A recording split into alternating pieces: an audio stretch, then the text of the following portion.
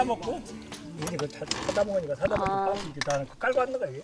음, 야, 그거 그냥 김치 그냥 먹어. 비비지 말고 먹어.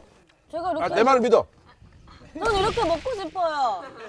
말 들어 한번 한번 들어봐. 아주 지금 애들은 요, 저, 아가. 자기, 자기 거시기가 두 가지 똑똑 똑 부러져서 우린 그러면 안 돼요. 빨리 김치 다 건져 먹어. 김치 다 먹어. 아이 구운 게 참. 식사하세요. 식사하세요, 식사. 식사 드셨어요? 그러고 맛있어. 야, 열무만 넣고 비벼. 진짜 우리는 이렇게 해야 되거든. 열무만, 열무 김치 안 넣고 열무만 넣고 쌈장만 넣고 해 먹어봐야 돼. 음, 그렇죠. 쌈장이라네. 이막 이- 열- 이렇게 간된장. 강된장 넣고 기름 넣고. 야 맛있다 야. 김치는니까 네. 일반적인 맛이 나는데 생열무는니까 다르다. 그렇죠. 아무래도. 잘하죠? 잠깐 되게 아삭아삭하지? 네. 그래. 될 것 같은데. 좀더 좀 더 작게 썰으면 되겠지. 맞아. 네. 지금 다른 사람들 먹기는 예. 저 짠. 저도 그래요. 저도 젊어서 그런가? 조금 작게 썰고 생으로 먹으니까 아삭아삭한 훨씬 나요. 음. 너무 맛있어서 계속 들어가요. 열무 국하고 열무 비빔밥은 해야겠다. 이건 새로 뭐 개발하는 건 국제 문제고.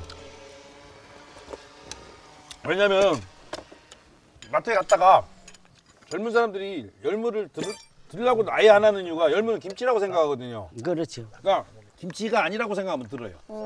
바로 국 끓일 수 있고 바로 이렇게 비벼 먹을 수 있다면 사거든요. 그렇죠. 그러면 돼요. 그렇지요. 말하자면. 열무는 김치만 한다는 걸 그걸 인식이 머리에 들 저기에 대해서 그래. 이렇게 여러 가지로 해먹는 저기를 잘 모르는 게 금전에 저희가 해보고. 사람 안 되면 또 올게요 내년에 걱정 하지 마세요. 너무 비싸지진 않지만 그래도 땀 흘리신 만큼 노, 노력이 헛되지 않게 해야죠. 어, 이렇게 해서 열무에 먹는 새로운 방법을 제시하거나 이러면 전국적으로 많은 네, 네, 열무 농가들이 좀 도움이 될 수 있어요. 왜냐면 어 열무 갖고 저런 거할수 있어 하고 많은 국민들이 이제 시도를 해보시면 전국적인 열무가 싹 다. 이게 지역적으로 중간에 뭐 300다발이 문제가 아니잖아요. 30만 다발, 300만 다발 다 그냥. 그래요. 그런 일이 있어서 정말 좋겠어요. 저 정말 좋죠. 그러면은. 자 그럼 저희는 네. 너무 잘 먹고 출발하겠습니다. 아 너무 맛있다 진짜. 너무 잘 먹었습니다. 잘 먹었습니다. 아이고 다행이네.